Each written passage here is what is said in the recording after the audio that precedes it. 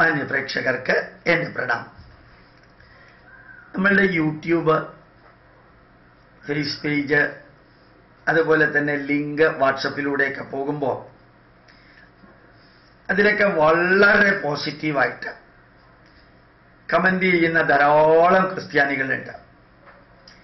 ധാരാളം ക്രിസ്ത്യൻ പേരുള്ളവരുണ്ട് ക്രിസ്ത്യാനികളുണ്ട്. ദേശത്തുള്ളവരും വിദേശത്തുള്ളവരും. അതിൽ ജോൺ ബെന്നി എന്ന് പറയുന്ന ആൾ ബെഹന്നാൻ. കുറേ പേരുണ്ട്. തോമസ് രണ്ട് മൂന്ന് തോമസ്മാരുണ്ട് മാത്യു ഇടാ മാത്യു. ധാരാളം പേരുണ്ട്. ഇവരെല്ലാം ശരിക്ക് എന്റെ കുടുംബത്തിന്റെ ആരോഗ്യത്തിന് വേണ്ടി പ്രാർത്ഥിക്കുന്നു എന്ന് വരെ യൂട്യൂബിൽ എഴുതുന്നു എന്ന് മാത്രമല്ല സെപ്പറേറ്റ് ഇമെയിലിൽ എങ്ങനെയുണ്ട് കുടുംബത്തിന് എന്ന് അന്വേഷിക്കുക പോലും ചെയ്തു. എന്റെ രക്തത്തിന്റെ ഭാഗമായിട്ടുള്ള ബന്ധുക്കൾ അന്വേഷിക്കുന്ന പോലെ അവരന്വേഷിക്കുന്നു. ഇത് ഞാൻ പറഞ്ഞത് തൊഴുകയ്യോടെ ഒരു കാര്യം പറയാനാണ്. ഞാൻ ഈ മതം മാറ്റത്തിനെതിരെയും അച്ഛന്മാരും കർദിനാൾമാരും ചെയ്യുന്നതിന് എതിരെയും ഈ ചതിക്കും വഞ്ചനയ്ക്കും എതിരെയും ഞാൻ ഈ യൂട്യൂബിൽ പറഞ്ഞിരുന്നു പറയുന്നു ഇനിയും പറയും. പറയാതെ നിവൃത്തിയില്ല. അതുകൊണ്ട് നിങ്ങൾക്ക് വേദനിക്കരുതേ എന്ന് മാത്രം ആ ഗോപാലകൃഷ്ണനെ അനുഗ്രഹിക്കുന്ന അല്ലെങ്കിൽ അഭിനന്ദിക്കുന്ന അല്ലെങ്കിൽ വസ്തുതാപരമാണ് സാറ് പറയുന്നത് എന്ന് എന്നെ തിരിച്ചറിയിക്കുന്ന അവർക്ക് വേദന തോന്നിയാൽ എന്റെ വാക്കുകൾ തളരും. അവർക്കെന്ന് വെച്ചാൽ അങ്ങനെയുള്ള ക്രിസ്ത്യൻ പേരുള്ളവർക്ക് ക്രൈസ്തവർക്ക് അവർക്ക് വേദനിച്ചാൽ പിന്നെ ഞാനിത് പറയുന്നതിൽ അർത്ഥമില്ല.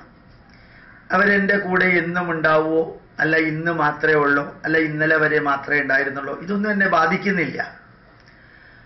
പക്ഷെ അവർ തരുന്ന അചഞ്ചലമായിട്ടുള്ള സപ്പോർട്ട് അതില്ലെങ്കിലും മുമ്പോട്ട് പോകും. പക്ഷെ അതുണ്ടെങ്കിൽ അതിന്റെ ഒരു സന്തോഷം വേറെയാണ് എനിക്ക് എന്നെ ബോധ്യപ്പെടുത്താം.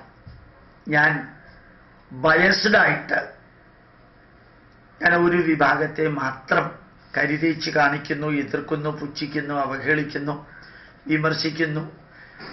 അല്ല മറിച്ച് ഇത് ആവശ്യമായതുകൊണ്ട് ചെയ്യുന്നു എന്നൊന്ന് ബോധ്യപ്പെടുത്താൻ ഇവരുടെ വരികൾ എന്നെ സഹായിക്കും. കഴിഞ്ഞ കുറേ ദിവസമായിട്ട് ഈ ക്രിസ്തുവിനെയും ബൈബിളും കച്ചവടം നടത്താൻ തറ ക്രിസ്ത്യാനികൾ നീചരായ ക്രിസ്ത്യാനികൾ നിന്ദ്യമായി പ്രവർത്തിക്കുന്നവര് ചെയ്യുന്ന കാര്യങ്ങൾ കണ്ടു. ഒരു പയ്യനെ ഒരു പാസ്റ്റർ എന്നെ വളച്ച് പൊളച്ച് അവനെ കൊണ്ട് അഭിനയിപ്പിക്കുക എന്തിനറിയോ? അടുത്ത ദിവസം സുവിശേഷ പ്രസംഗം നടത്തുമ്പോൾ ഇവന്റെ ബാധ ഒഴിപ്പിക്കുന്നത് എങ്ങനെയാണെന്ന് കാണിച്ചു കൊടുക്കാൻ. പാവങ്ങൾ അറിയുന്നില്ല തലേ ദിവസത്തെ ഡ്രാമയായതെന്ന് അത് വാട്സപ്പിൽ അയച്ചിട്ടുണ്ട്.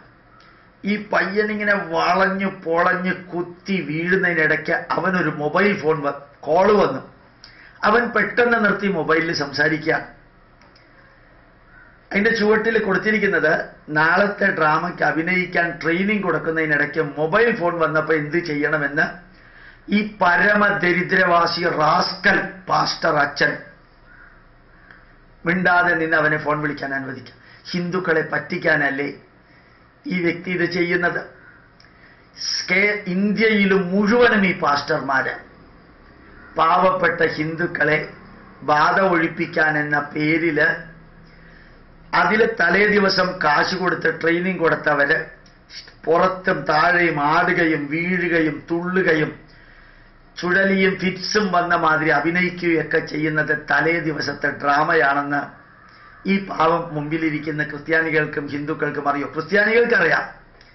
എന്തിനായി നാറിയ പണി യേശു ക്രിസ്തുവിനെ പച്ചയ്ക്ക് കച്ചവടം ചെയ്യാനായിട്ട് നിങ്ങൾ ചെയ്യുന്നത് പാസ്റ്റർമാരെ?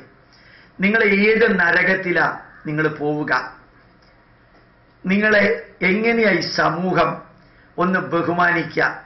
ഏത് മലയാള ഇംഗ്ലീഷ് വാക്കാ നിങ്ങളെ പച്ച തെറി പറയാൻ ഉപയോഗിക്കേണ്ടതെന്ന് എനിക്ക് അറിഞ്ഞൂടാ. ഇനി അടുത്ത ഒരെണ്ണം.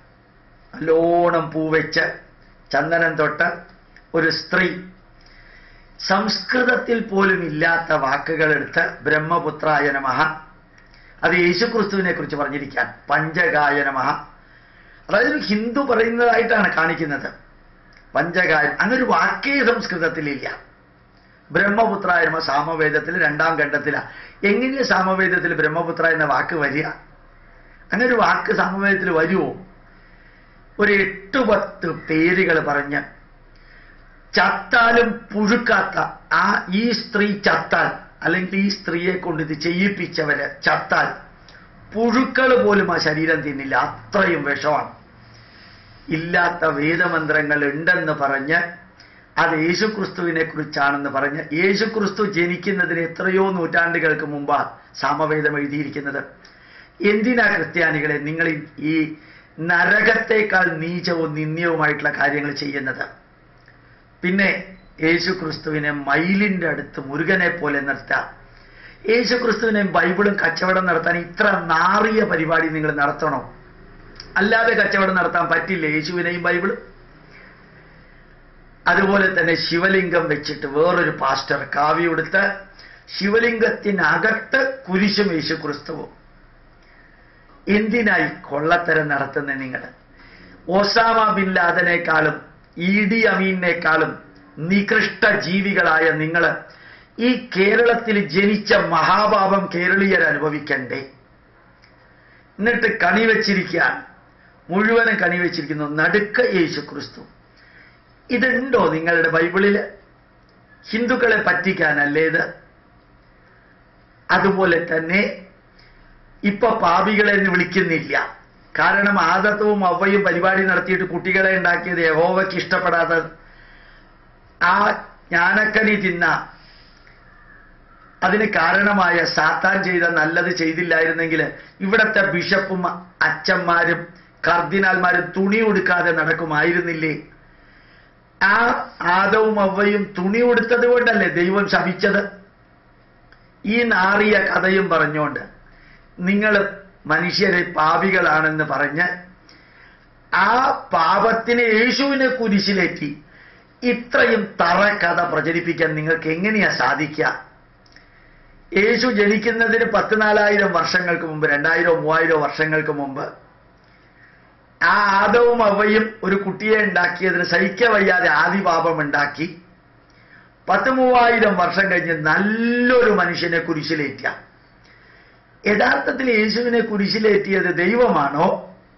അവിടെ നിലനിന്നിരുന്ന നിയമത്തെ ലംഘിച്ച സോക്രട്ടീസിനെ വിഷം കൊടുത്ത് കൊന്ന മാതിരി ആ യേശു ക്രിസ്തുവിനെ സപ്പോർട്ട് ചെയ്യാൻ ആരും ഉണ്ടായിരുന്നില്ല. അങ്ങേര് ഇന്ത്യയിൽ പതിമൂന്ന് വർഷം പഠിച്ചത് അവിടെ ചെന്ന് ചെലവാക്കിയപ്പോ അവിടെ പഠിപ്പിച്ചപ്പോ അവിടുത്തെ ഭരണാധികാരികൾക്ക് ഇഷ്ടപ്പെട്ടില്ല. അവർ എല്ലാവരും പീലാത്തോസിനോട് എന്ന് പറഞ്ഞു ഇയാൾ സമൂഹദ്രോഹമാണ് ഇവിടെയുള്ള പുരോഹിതന്മാർക്ക് എതിരെ പറയുന്നു. അപ്പോ ശിക്ഷിക്കണമെന്ന് പറഞ്ഞു. രാജാവ് പറഞ്ഞു നിങ്ങൾ എല്ലാവരും കൂടി പറയുകയാണെങ്കിൽ അന്ന് നിലനിന്നിരുന്ന കുരിച്ച് ഇതിനെ കയറി ദുഃഖവെള്ളിയാഴ്ചയാക്കി ഇതിനെ വേറൊരു രീതിയിൽ കച്ചവടം നടത്തുക. എന്തിനാ ക്രിസ്ത്യാനികളെ നിങ്ങൾ ഇത് ചെയ്യുന്നേ? ഈ നരകം നിങ്ങൾ എന്ന് അനുഭവിക്കും. ഈവന്റ് മാനേജേഴ്സിന്റെ പേരിൽ നിങ്ങൾ ഓരോ പാസ്റ്ററും നടത്തുന്ന സുവിശേഷത്തിന് കോടികൾ അണക്കൗണ്ടഡ് ആയിട്ട് ഉണ്ടാക്കാൻ സാധിക്കുന്ന ഒരു പരിപാടി. നാടകവും ബാലയും ഗാനമേളയും കഥാപ്രസംഗവും ഒക്കെ നടക്കുന്നതിന് പകരം ടൈ കെട്ടി ഷൂസ് കെട്ടി മോർഫ് ചെയ്ത് അല്ലെങ്കിൽ ഏതൊക്കെയോ സിനിമാ നടന്മാരെ പോലെ മുഖം ചിത്രീകരിച്ച് ബൈബിൾ എടുത്തുകൊണ്ട് പ്രസംഗിക്കുന്ന കുറെ പരനാറികൾ ഈ നിങ്ങളാണോ യേശു ക്രിസ്തുവിന്റെ പ്രതിനിധികൾ? വേറൊരെണ്ണത്തിൽ കണ്ടു. ഇവിടുത്തെ ഒരു പ്രൊഫസർ ഒരു പ്രൊഫസർ അയാളെ എന്ത് വാക്കാ ഉപയോഗിക്കേണ്ടതെന്ന് അറിഞ്ഞൂടാ. വലിയൊരു കാറിൽ തമിഴ്നാട്ടിൽ ചെന്ന് അവിടെ ചെന്ന് ഇതെല്ലാം വിതരണം ചെയ്യുന്നു. എന്നിട്ട് സുവിശേഷം നടത്താൻ. നാട്ടുകാരെ ഇളകി. അവർ പ്രതിഷേധിച്ചു. എന്നിട്ട് അവസാനം എന്താ സംഭവിച്ചത്? ഇത് കേരള രജിസ്ട്രേഷൻ കാറാണ് എന്ത് ധൈര്യമാണ് ഈ തെണ്ടികൾ ഇവിടെ വന്ന് ഞങ്ങളെ മതം മാറ്റാൻ കാണിക്കുന്നത്? എന്ത് ഉറക്കാ പറഞ്ഞ? കേരള രജിസ്ട്രേഷൻ കാർഡ് വീഡിയോയിൽ അത് കാണിക്കുന്നുണ്ട്. തെണ്ടികൾ എന്നൊരു പത്ത് പ്രാവശ്യം വിളിക്കുന്നുണ്ട്. സത്യം. അത്രയല്ലേ വിളിച്ചുള്ളൂ എന്നേ ഉള്ളൂ.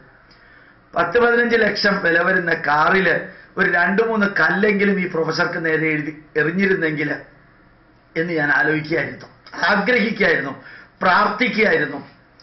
യേശുവിനെ കച്ചവടം നടത്താൻ കർദിനാൾ ആലഞ്ചേരി തന്നെയൊക്കെ തിരുമേനി എന്ന് വിളിക്കാൻ ബുദ്ധിമുട്ടുണ്ട്.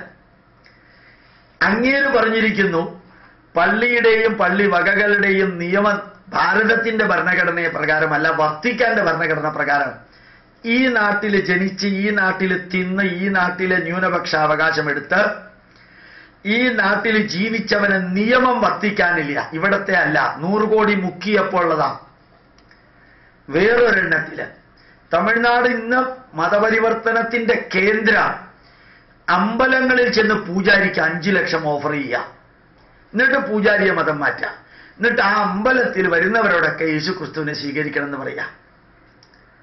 അത് കാണിക്കുന്നുണ്ട് വീഡിയോയിൽ എന്തിനാ നിങ്ങൾ യേശു ക്രിസ്തുവിനെ ഇങ്ങനെ കച്ചവടം നടത്തുന്നത് എന്നിട്ട് നിങ്ങൾക്ക് എന്ത് കിട്ടാനാ?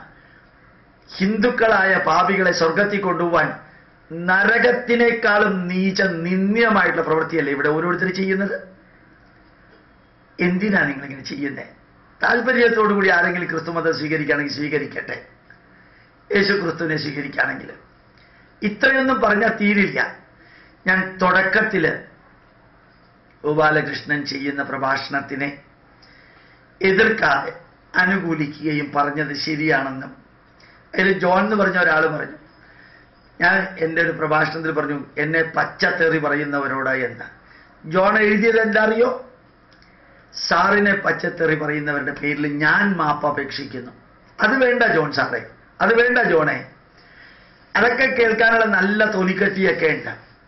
പക്ഷേ ഈ ഭാരതത്തിനെ അടിമുടി മതപരിവർത്തനം ചെയ്തിട്ട് ആ റോമ കത്തോലിക്ക സ്ത്രീ ശരിക്ക് ഹോട്ടൽ സപ്ലയർ ആയിരുന്ന രാജീവ് ഗാന്ധിയുടെ പ്രേമത്തിന്റെ വാചനമായി തീർന്ന റോമ കത്തോലിക്ക സോണിയാഗാന്ധിയും തനി മന്ദബുദ്ധിയായിട്ടുള്ള രാഹുൽ ഗാന്ധിയും അമ്പലങ്ങളിലുമെല്ലാം പോകുന്നത് മറ്റേവർ ചെയ്യുന്നതിന്റെ വേറൊരു വിഭാഗം. ഭാരതം മുഴുവനും മതപരിവർത്തനം നടത്താൻ കേരളത്തിൽ ഒരു കോർപ്പറേഷൻ ഉണ്ട്. അറിയോ നിങ്ങൾക്ക്? ഒരു കോർപ്പറേഷൻ. അങ്ങോട്ട് മതം മാറിപ്പോയവർക്ക് ഇങ്ങോട്ട് തിരിച്ചു വരാതിരിക്കാൻ അവിടെ തന്നെ നിൽക്കുകയാണെങ്കിൽ അവരെടുത്ത ലോണും ബാക്കി സൗകര്യങ്ങളൊക്കെ എഴുതി തള്ളാൻ പാകത്തിന് ഒരു കോർപ്പറേഷൻ ഹിന്ദുക്കൾ അറിയണം. ഞാനിത് കുറച്ച് സെക്കൻഡുകൾക്ക് മുമ്പ് പറഞ്ഞു. ഞാൻ പറയുന്നതിന്റെ നന്മകൾ കൈകൂപ്പി സ്വീകരിക്കുന്ന ക്രിസ്ത്യാനികൾക്ക് ഞാൻ ഇത് പറയുമ്പോൾ വേദനിക്കും. പക്ഷേ ഞാൻ അവരോട് അവരെനിക്ക് തരുന്ന നന്മയോട് വിദേശത്തെ കേരള ക്രിസ്ത്യാനികളിലെ മാറ്റത്തെക്കുറിച്ച് എഴുതിയപ്പോൾ തോമസ് സാർ എഴുതി. സാറ് പറയുന്നത് ശരിയാണ് എന്ന്.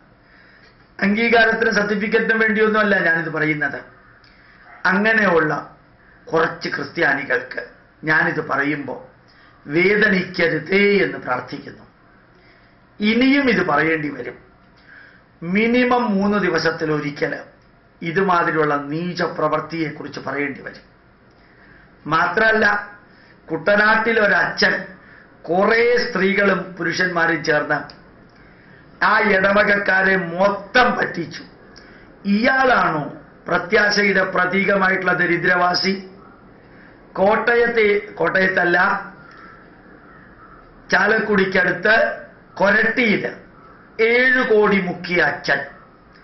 അച്ഛന്മാരെ കുറിച്ചുള്ള തറ വാർത്തകൾ മാത്രം വന്നിട്ടും നിങ്ങൾ എങ്ങനെയാ ഈ ഇതുങ്ങളുടെ പുറകെ പോകുന്നത്? എങ്ങനെയാ പോകുന്നത്? ഭാരതത്തിന്റെ ഭരണഘടനയോട് വിധേയത്വമില്ലെന്നൊരു കർദിനാല് പറയാം. ഏതായാലും ഒരു സംതൃപ്തിയുണ്ട്. ഒത്തിരി ക്രിസ്ത്യാനികൾ അതിനെ എതിർത്തിട്ടുണ്ട്. അത് ഫേസ്ബുക്കിൽ അതൊരു ചാരിതാർത്ഥ്യത്തിന്റെയാണ് ഈ നാട്ടിൽ ജനിച്ച് വളർന്ന ചോറ് തിന്ന് ഇവിടെ ചാവുന്ന ഇതുങ്ങൾക്ക് ഇവിടെ വിധേയത്വം ഇല്ലെങ്കിൽ പിന്നെ എവിടെയാ വിധേയത്വം ഉള്ളത്? വത്തിക്കാനില്ല അവിടെ നിന്നാ കെട്ടിയിരിക്കുന്ന ഇവർ? ഏതായാലും നമ്മുടെ രാഷ്ട്രത്തിന്റെ ശാപം തീവ്രവാദികളല്ല. നമ്മുടെ രാഷ്ട്രത്തിന്റെ ശാപം ചൈനയല്ല പാകിസ്ഥാനല്ല. ഇതിനകത്തിരുന്നുകൊണ്ട് ക്യാൻസർ പോലെ വളരുന്ന ഇവരാണെന്ന് കൂടി പറഞ്ഞ് അവസാനിപ്പിക്കുന്നു. പ്രണാമം നമസ്കാരം.